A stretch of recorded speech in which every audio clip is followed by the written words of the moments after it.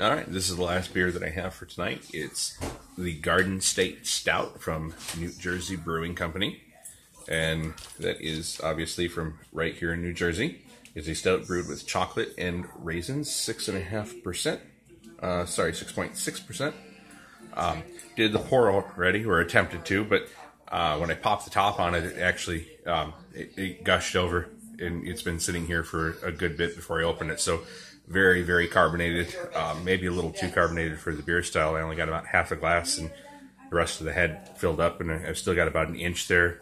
About two, three minutes later, so we're gonna we're gonna do something a little bit different than I haven't done in a while. We're gonna try to finish up this pour to get a full glass here.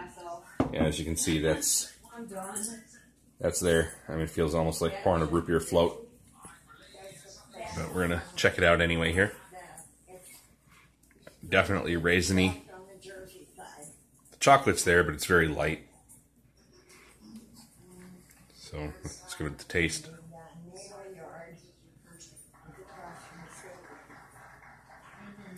And that was almost all. Ahead, let me try that again.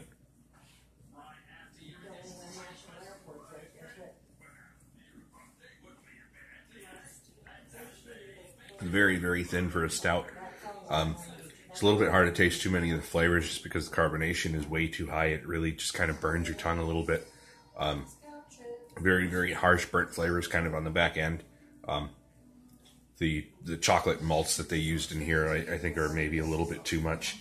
Um, I'm not enjoying this as much as some of the others, um, but some of the aftertaste is pretty nice. The raisins are definitely coming through. It's got kind of that date flavor.